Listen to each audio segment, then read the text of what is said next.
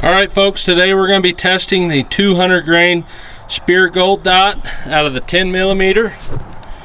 And uh, we'll be doing a velocity test, we'll do a water jug test, and then for fun, we're going to see how accurate I am with my Springfield XDM competition with a five and a quarter inch barrel and iron sights. As you can see, nothing fancy. We got a red front sight, black rears, but yeah, I'm excited to see how this bullet performs. I can tell you right now, this is not my go-to bullet for an everyday carry, uh, going into town, self-defense bullet out of the 10 millimeter. We'll get to that, um, but the penetration for me is just a little too high, and uh, it's a little more than what I think is necessary for a self-defense situation. If you would like, I'll go into some of my self-defense loads for 10 millimeter, but these are full power 10 millimeter loads. These are not the limp wristed stuff that Speer manufactured that's only getting like a thousand feet a second. Um, these are full power loads. They should be uh, over 1200 feet a second out of my 10 millimeter and uh, I'm looking forward to seeing how these do. All right, we're gonna get a speed test on these 200 grain gold dots. These are true full power 10 millimeter loads. Uh, I've got a five and a quarter inch barrel on my Springfield XDM. Uh, I believe this is the competition.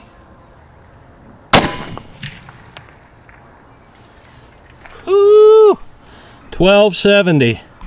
Like I said, that's a real full power 10 millimeter load using accurate number nine.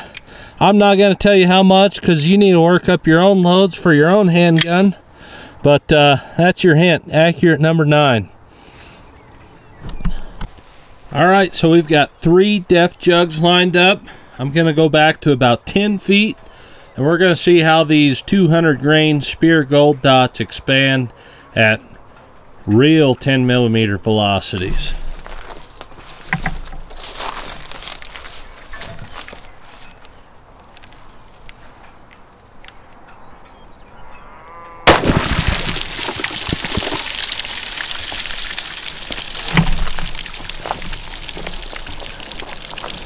All right, well that seemed quite eventful.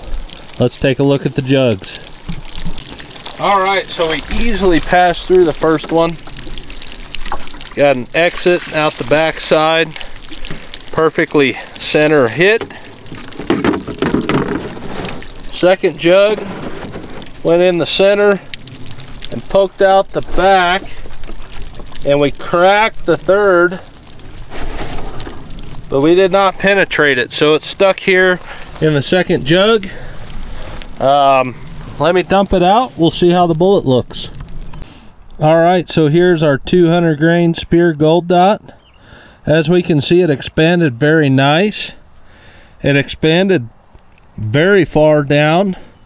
We lost one petal and uh, we almost lost another petal that's how hard back it expanded down. Overall it held together very nice. We got excellent penetration uh, two jet def jugs worth. We saw that it hit the back and and cracked the third def jug. For a 10 millimeter hollow point that's excellent.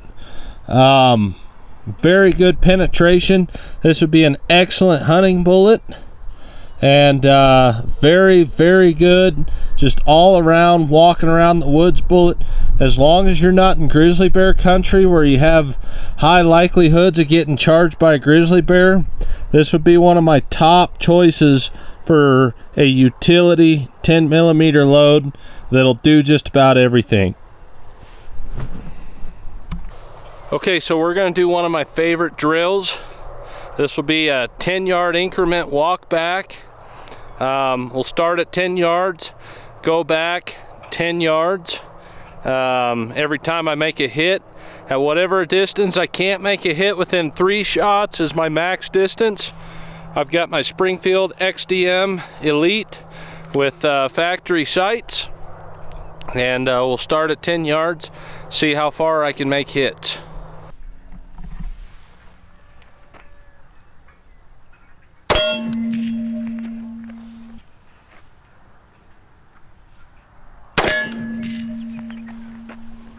Hit.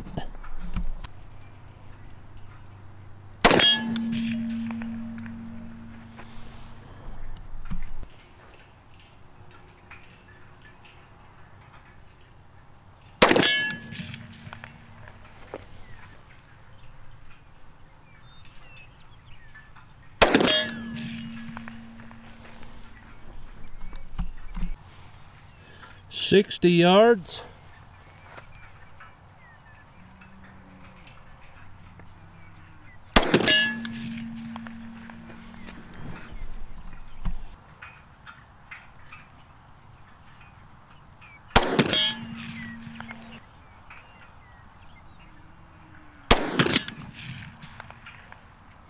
Ooh, I nicked it.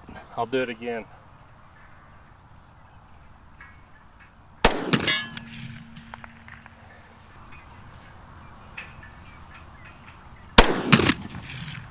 Miss.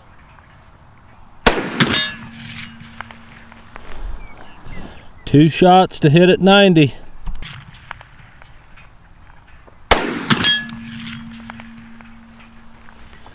There's a hit at 100.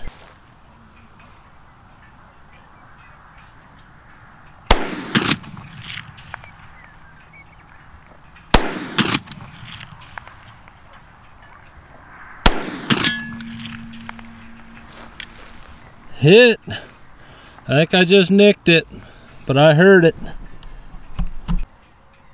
Okay, we're at 120.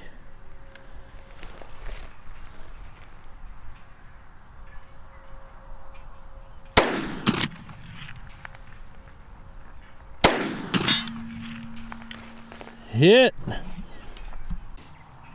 Okay, 130. About the max I can go at this range is about 140, so we'll see what happens.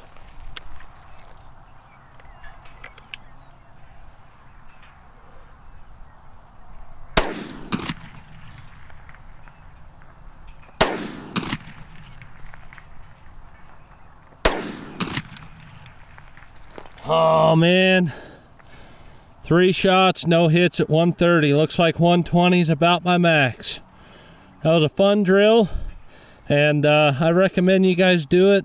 Really helps you with trigger pull and uh, extending your effective range with a handgun